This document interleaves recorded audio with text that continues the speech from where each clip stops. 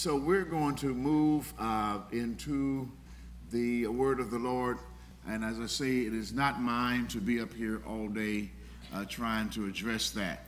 Uh, in the fifth chapter of Matthew's, we've been talking concerning the Beatitudes. And the reason we have been talking about the Beatitudes is that Jesus Christ himself came to this earth with the sole purpose of offering to us a better way of living and a more efficient way of practicing uh, the uh, truths of the Lord in our everyday living.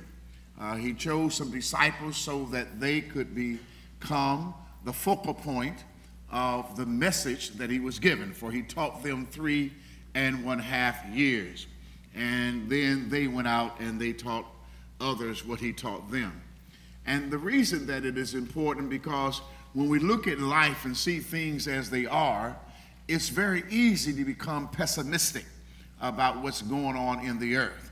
But the truth of the matter is, we have to learn how to be optimistic about what's going on in the earth. And the way we have this optimism and, and, and, and cause it to continue in us is not from what somebody says from without, it's what we believe from within. Who are we? What do we possess that we can continue to control our environment? What causes us to lose our effectiveness? What causes us to lose sight on the goals and the objectives that we have. How is it that we can get up in the morning and have so much zeal and be ready to go forth, and then all of a sudden we hear a word from somebody which knocks us back and causes us not to be able to go forward as we intended when we first got up? I'll tell you what it is. Anytime that you uh, think less of who you are, and the power that you possess, then those influences outside of you, you will always yield to the outside influences. But we've got to learn how to always allow that from within us to cause us to move forward because what people say and what conditions present themselves should never dictate what you do and neither define who you are. And so, so then, and we're talking about the Beatitude because Jesus knows that he's going to lead. And while he's here, he is the force, he is the power, he is the light, he's all of that. And, and he, but he knows he's going to lead. And so he starts talking to his disciples about things that they needed to know that would help them in his absence. But he also let them know that they need to yield, as it were, more to him and what he's saying than what they have received outside of that influence. Now, you understand, uh, uh, there were writings in the New Testament when Jesus came, and they, they and the uh, the Jews referred to the Mosaic Law when he came, and they had meetings in the synagogue, and they had meetings in the temple, but they were meetings without power they were meetings that were quite uh, dogmatic. They were meetings that addressed themselves to tradition, but they were not meetings that would enhance individual lives. Rather, it would bring a, a curtailing, as it were, to their creativity, to their innovation, and certainly their spirituality. And so when Jesus came, Jesus said, You have law, I didn't come to destroy it, but through me that the law might be fulfilled. In other words, I'm going to teach you how to live where the law does not affect you because you live above the law.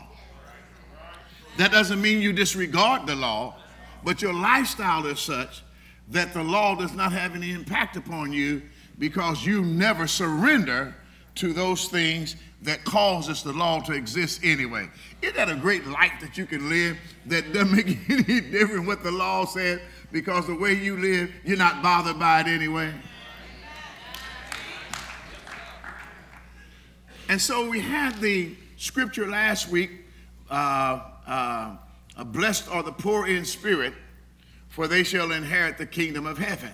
And we spoke to you concerning that, and we said that that poor spirit was, was that of humility, that one would humble themselves and bring themselves to a level of understanding that their sufficiency was not of themselves, but their sufficiency was of God. We said that you need Christ in your life, that we're talking about Christ likeness rather than religion. You can have a religion, you can be very much responsible and do the same thing over and over again, the same way, believe the same way, all right? But now, just because you have religion does not mean you have salvation. Many people are religious, but they don't have salvation. And they are not Christ like.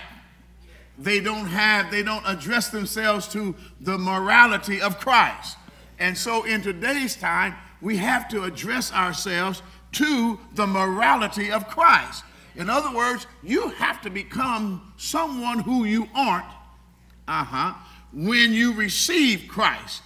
If you don't have a change in who you are once you receive Christ from that which you were before you received Him, you have not received the Christ that I know. There's a change. Now, you have to understand with this change, you don't really become perfect. Now, I know we want to say we do. I know, I know that. I've been taught all my life. Praise God, as soon as you receive the baptism of the Holy Ghost, that means you're perfect. But now, if that's true, I would like to know why do we still have this?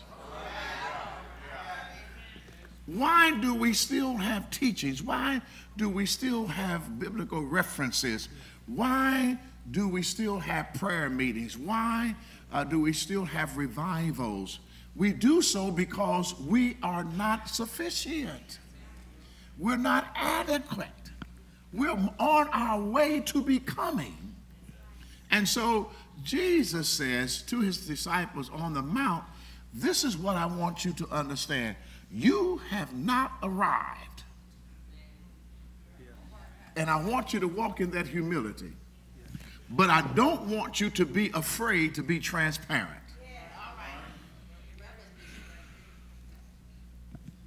Because if you let if you let yourself know that you have not made it, that's the beginning of deliverance. We don't want people to know we have struggles. I said, we don't in the church want people to know that we have struggles. But one posture of humility is letting people know that you have struggles.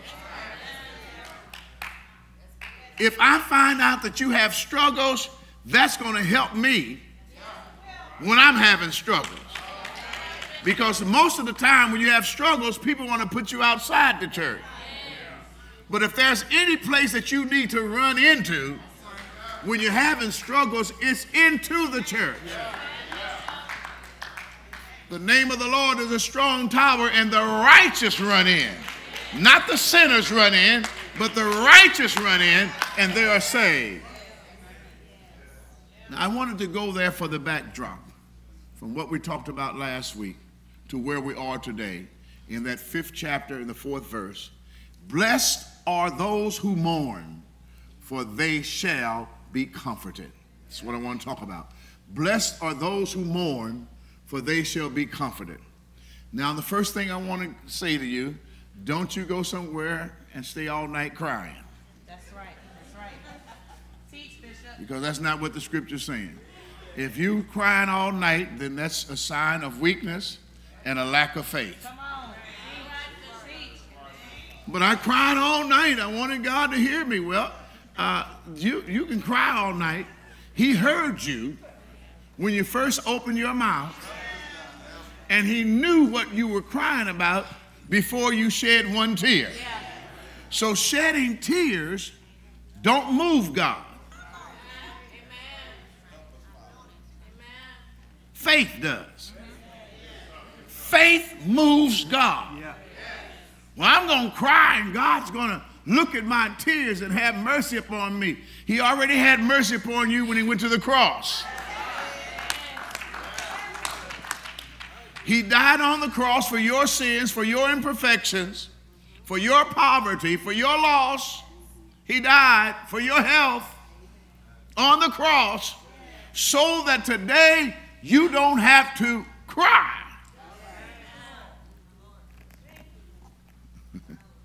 So then, the mourning that we do is a mourning not because I lost my job, not because my wife walked out on me, or my husband's irresponsible. That's not the reason why. My mourning is not because I couldn't get the car that I wanted. My mourning is not because I don't have any friends. My mourning, M O U, my mourning is because I know that I need more of God. And I'm trying to deal with this sinful nature. Are you still listening to me? I see what's going on in the world. I see what's going on in my home. And specifically, I see what's going on with me.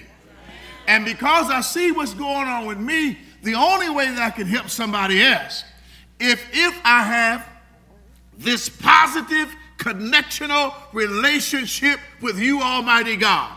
And so I'm standing before you, or I'm kneeling before you, I am coming before you, and I'm saying to you, Lord, I need your help.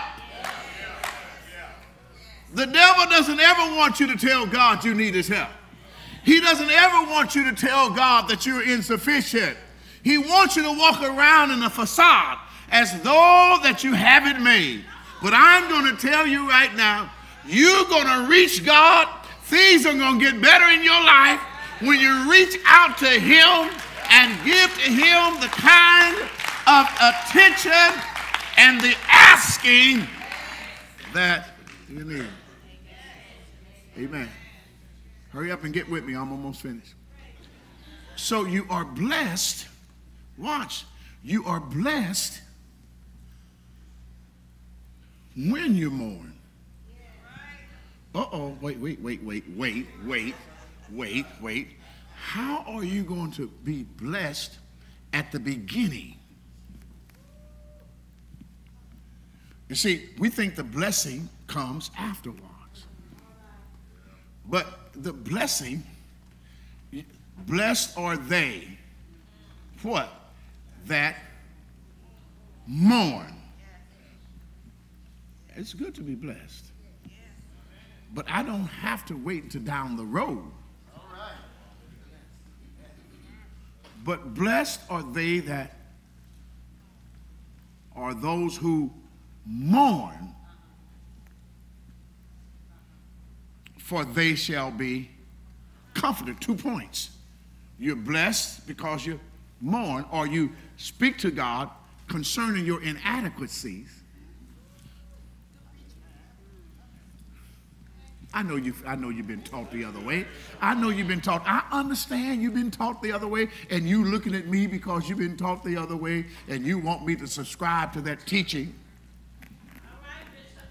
But I cannot subscribe to that teaching because it's not your tears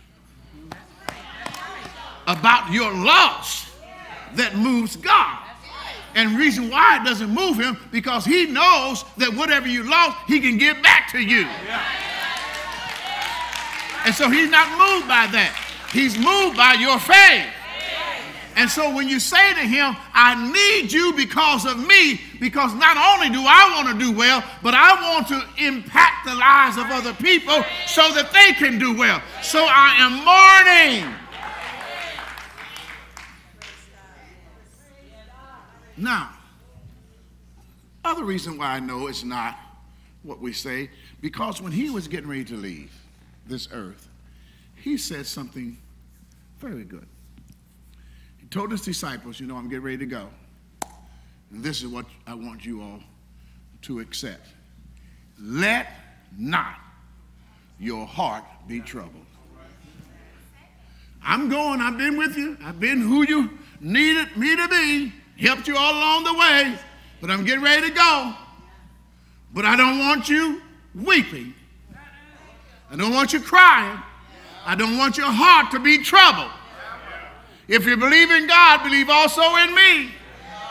Because I'm telling you, I'm going away to prepare a place for you, that where I am, there you may be also. So you don't need to be weeping down here. You're going to end up the same place where I am. Woo. My God. And so, and so, and so, he does not want you to do that.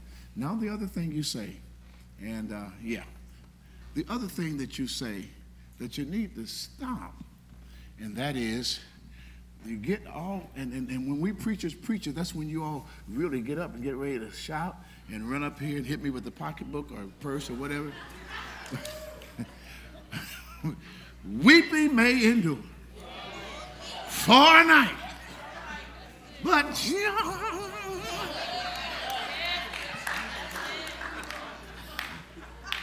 come in the morning. Now we get carried away on that particularly if we put a little tune to it. Hoop it up a little bit. But the scripture are what we're projecting, this weeping that you're doing, you're weeping what? Over loss. And that may endure for a night. But joy comes in the morning whatever happened to you at 10 o'clock p.m., if your attitude about it, if your attitude has not changed, at 6 a.m., you're going to have the same problem. So your morning has no reference to the 24 hour clock your morning has reference to your illumination of what? My mind is illumined by the Word of God and the knowledge of God and the understanding of God. And what is that? That whatever I'm going through, however severe it may appear to be, my deliverance is already there, and all I have to do is believe I don't have to cry my way through it. Don't have to cry my way through it. Just have the faith to know that, that, that when I look into the Word of God, as the Word of God pertains itself to me, everything is going to be all right. Yeah, I didn't lose my hope. I didn't lose my faith. But most of all, I never lost my praise.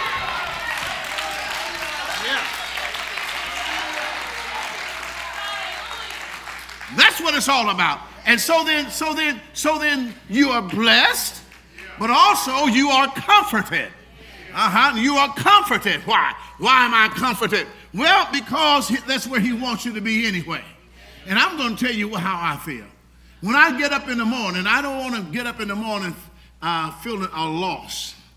I don't want to be weary. I don't want to be down in spirit. But when I get up in the morning, I want to get up in comfort.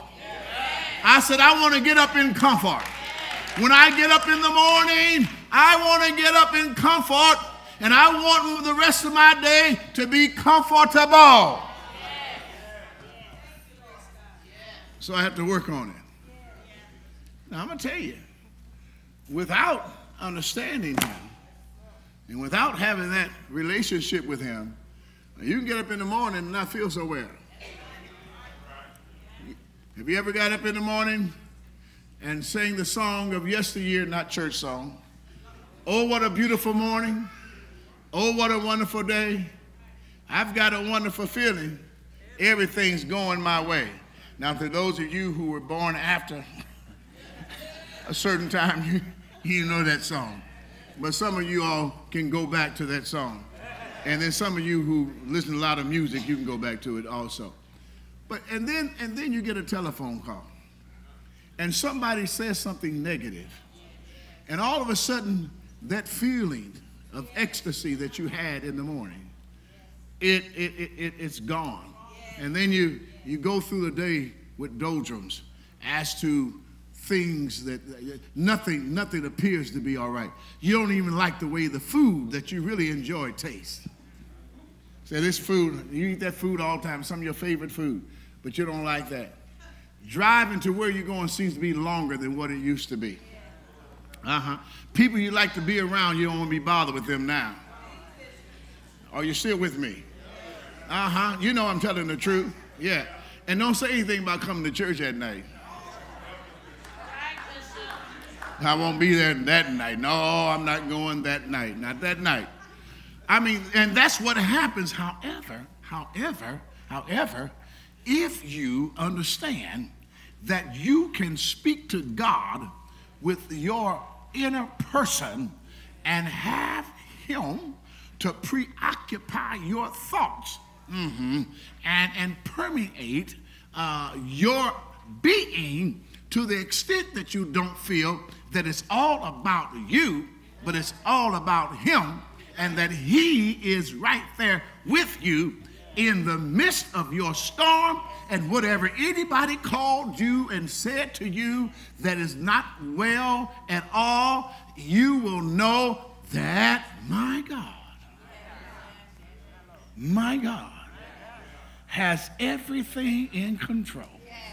If it's a problem with personal economy, my God shall supply all my needs according to his riches in glory. Ah, if it's something that somebody is talking about you that happened years ago, you can say, well, it doesn't affect me because what God told me that He's taken my past and the activities of my past and cast them into the sea of forgetfulness to be remembered no more. Oh, somebody's going to hear what I have to say in here today. I'm trying to tell you right now without a doubt that when you learn how to invoke the presence of God in your life and let Him become not just the resident, but the president of your life, things will be better. So, when I get up in the morning, my comfort does not come from outside influences, my comfort comes from within. Because God comes in with His Spirit into your spirit. And when His Spirit comes into your spirit, there's a transfer. Your spirit is no longer the spirit of preponderance, but His spirit is. His spirit takes control of your spirit. Who you used to be, you're no longer. You are a new creature. Yeah, you're a new creature. Born again, filled with the Holy Ghost and the power of God and the anointing of God that will take you from where you are to where you want to go. And I know I'm right.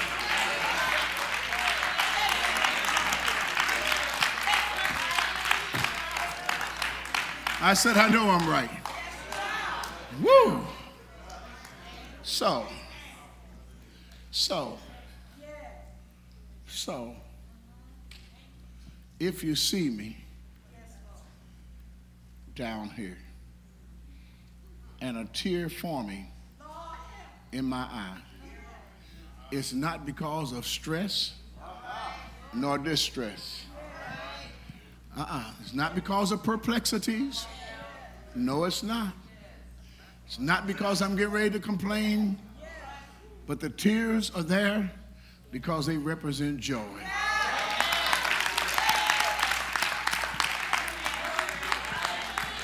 Why should I feel discouraged? oh, somebody's going to hear it. Uh huh, uh huh, uh huh. Is there anybody here who understands that in the midst of all that, you don't have to feel discouraged?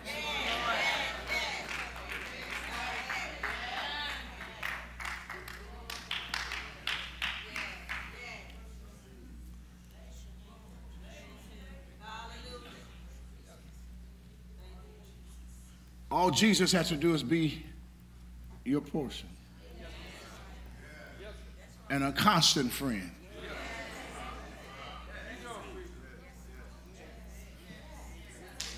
And in the midst of all of it, you can sing because you're happy. You can sing because you're free. Wait a minute. His eye is on the sparrow. And I know that he watches me. How many have a God that's watching over you? So dry your eye. Don't you cry. Stand on the truth of God and know. Somebody help me say it's all right.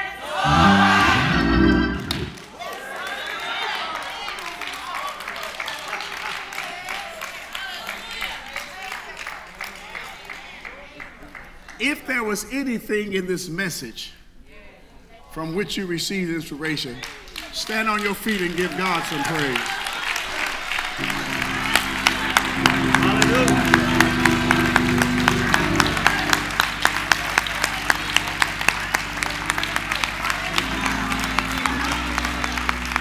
I sing because I'm happy. Help me.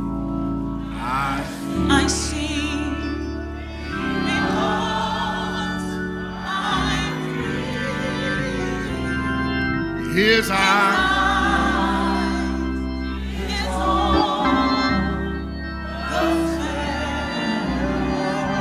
and I know he watches.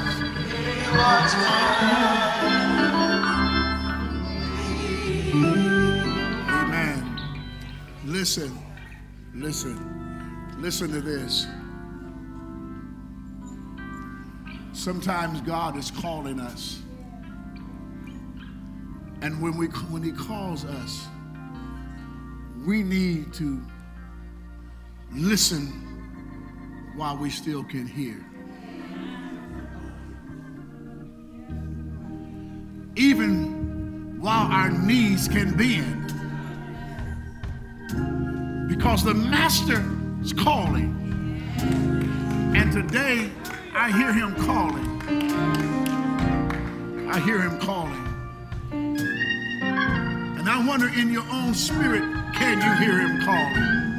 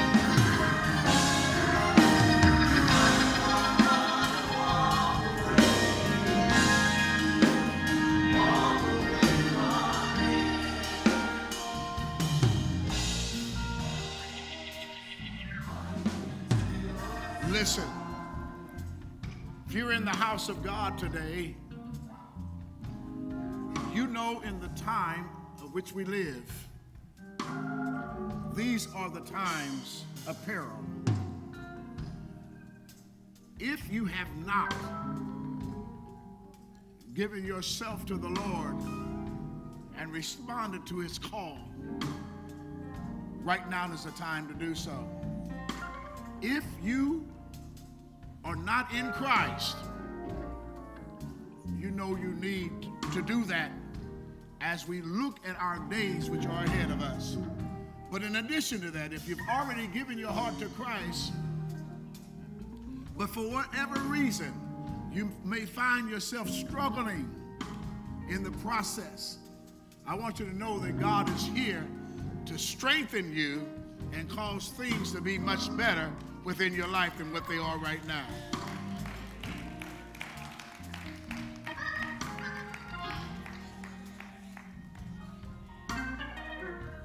Bow while your knees still bend. Bow while your knees still bend. Bow while the master's calling. The master's calling. Come on, the master's calling.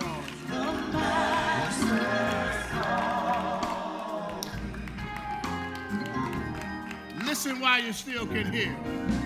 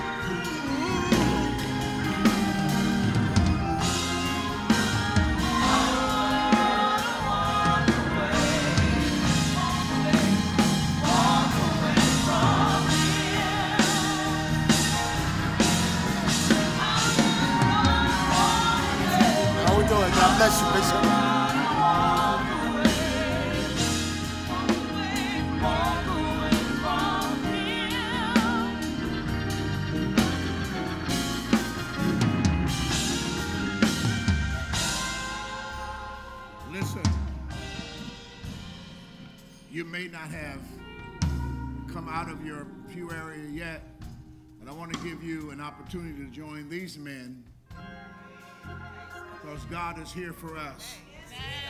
It matters not what your age may be, you're in the house of the Lord, and God wants you to know that He loves you with an everlasting love.